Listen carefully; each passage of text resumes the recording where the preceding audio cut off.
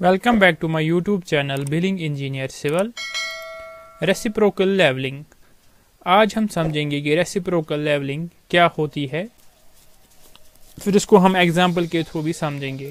तो reciprocal levelling is a method of levelling adopted to determine the difference of level between two points when it is not possible to set up the level midway between them as in the case of a river deep valley extra तो reciprocal levelling जो method है, ये हम use करते हैं।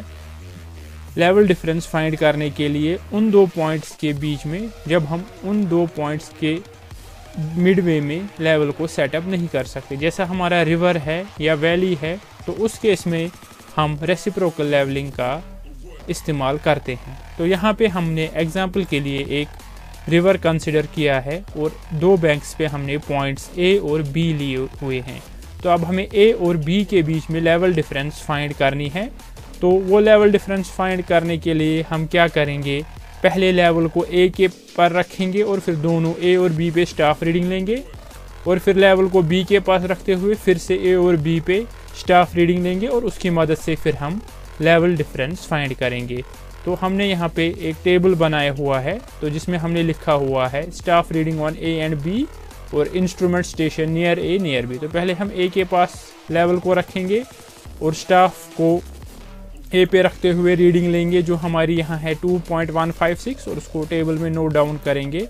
और फिर उसके बाद स्टाफ को हम बी पे रखेंगे और फिर से रीडिंग लेंगे 3.568 और इसको भी हम टेबल में नोट डाउन करेंगे। उसके बाद हम लेवल को शिफ्ट करेंगे बी के पास और स्टाफ को बी पे रखते हुए रीडिंग लेंगे 3.262 और इसको नोट डाउन करेंगे। उसके बाद लेवल को अपनी ही जगह रखेंगे और स्टाफ को ए पे रखेंगे और फिर से स्टाफ रीडिंग लेंगे 1.968 तो अब हमने स्टाफ रीडिंग्स ले ली है ए और बी पे और लेवल्स को पहले ए के पास रखा, फिर बी के पास रखा। अब इनके बेसिस पे हम ट्रू लेवल डिफरेंस जो ए और बी के बीच में है, वो हम फाइंड करेंगे।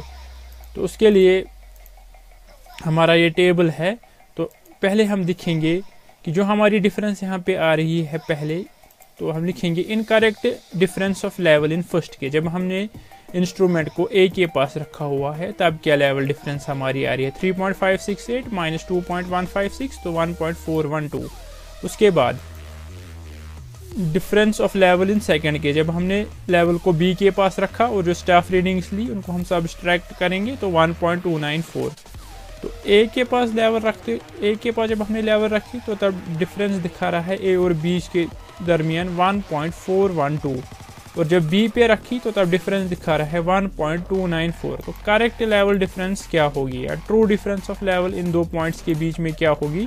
1.412 प्लस 1.294 डिवाइडेड बाई 2 तो वो हमारी आ रही है 1.353 और हम लिख रहे हैं fall from A to B इसका मतलब कि जो पॉइंट बी है, वो ए से 1.353 मीटर्स डाउन है।